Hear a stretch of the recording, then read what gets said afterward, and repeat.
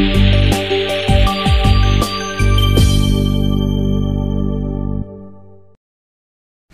Cycle নিয়ে travelling এ শুধুমাত্র পুরুষ না, মহিলারাও কিন্তু তাদের যে রেকর্ড সেটা করেছেন। লিপিকা বিশ্বাস আমার সাথে রয়েছে।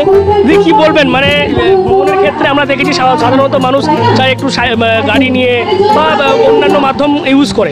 সেক্ষেত্রে আপনি সাইকেলটাই বেশি নিয়ে সাইকেল হলো আমার ভালোবাসার, আমি বলব। কারণ আমার সাইকেল যখন আমি চালাই, আমার সাথে অনেক কিছু কাজ করে।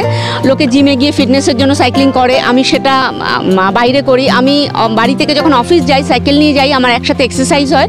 আমার পয়সা বাঁচে, আর সব থেকে বড় যেটা আমার মনে হয় আমি দূষণ ছড়াই না।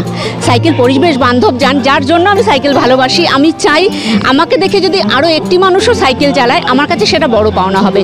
এবং মেয়েদের নিয়ে তো আমরা অনেক কিছু বলি, মেয়েরা পারে না।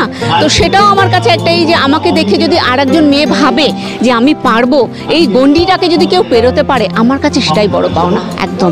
এখনও পর্যন্ত সাইকেল নিয়ে কোথায় কোথায় গেলেন?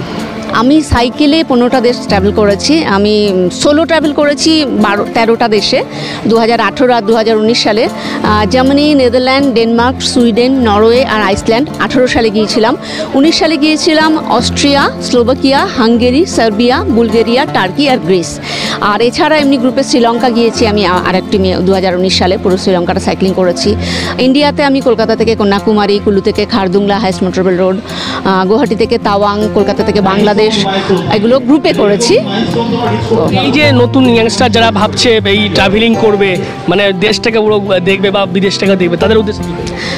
সবাইকে বলব যে ট্রাভেল একবার যদি এটা একটা নেশা। ভীষণ বিভিন্ন অ্যাডিকশান হয় তো তো আমি চাই মানুষের মধ্যে ট্রাভেলে অ্যাডিকশান হোক তাহলে ভালো থাকব কিন্তু ট্রাভেল যখন আমি করব আমি যে জায়গায় যাচ্ছি আমার যেন সেই জায়গার মানুষ এবং জায়গার প্রতি তাদের যে রিচুয়াল সব কিছুর প্রতি রেসপেক্ট থাকে।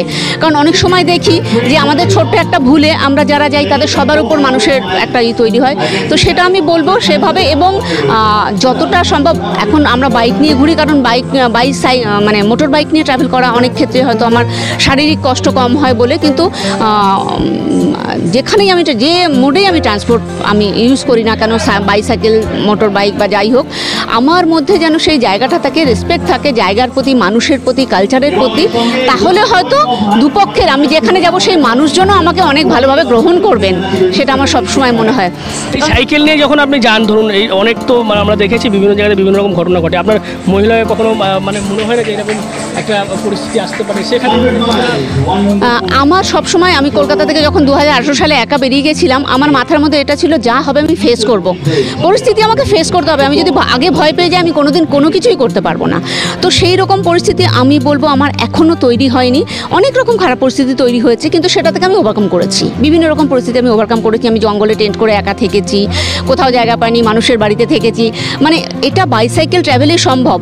কারণ শ্রীলঙ্কায় যখন আমি ট্রাভেল করছি তখন কলম্বে বাস্ট ব্লাস্ট যেদিন হয়েছে সেদিন আমাদের প্ল্যান ছিল আমরা অনেক রাত অবধি সাইকেল চালাবো। কিন্তু কারফিউ জারি হয় সন্ধ্যার পর আমাদের স্টপ করে দিতে হয়। যেখানে আমরা থামি সেখানে কোনো হোটেল বা কিছু ছিল না। আমরা লোকাল মানুষের বাড়িতে নক করেছিলাম যে আজকে রাতটা কি আমাদের থাকতে দেবেন? ওই সাইকেলের আমাদের যা বোঝা থাকে বিভিন্ন সন- সন্দেহজনক একটা বোঝা। কিন্তু আমাদের কোনো আইডেন্টিটি ছাড়াই কিচ্ছু দেখতে চাননি আমাদের রাতে থাকতে দিয়েছেন। এটা বাইসাইকেল ট্রাভেলে সম্ভব, কারণ যখন দেখেন যে একটা মানুষ পায়ের ঘাম সেই মাথার ঘাম পায়ে ফেলে ট্রাভেল করছে হ্যাঁ সেই রেসপেক্টটা ভীষণভাবে বাইসাইকেল ট্রাভেলে পাই এবং বিদেশেও মানে রাস্তার ধারে মহিলারা ফল বিক্রি করছেন, যারা খুব নিডি তারাও আমাকে দিয়ে দিয়েছেন উজাড় করে যে পয়সা ছাড়া। এটা ভীষণভাবে সব জায়গায় ভালোবাসা রেসপেক্ট ভীষণ পাই ভীষণ চাকা কি আবার থামবে না? চাকা আবার না না চাকা তো থামার জন্য নয় চাকা গড়াতে থাকে। কখনো কখনো থামে আমার যেমন একটা অ্যাক্সিডেন্টে হাত ভেঙেছিল যার জন্য এখন একটু থেমে আছে এবং কোভিডের জন্য কোথাও যায়নি। তো আশা রাখছি আগামী দিন আপনাদের সবার শুভেচ্ছায় অবশ্যই চাকা গড়াবে। আশীর্বাদ করুন শুভেচ্ছা রাখুন যেন সেটা গড়ায় আর কি।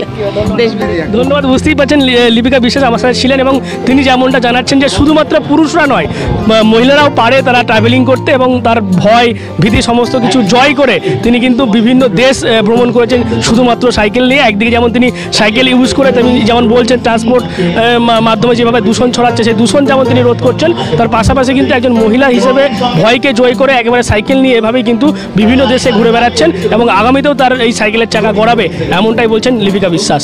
HB DNN Bangla, Hooghly.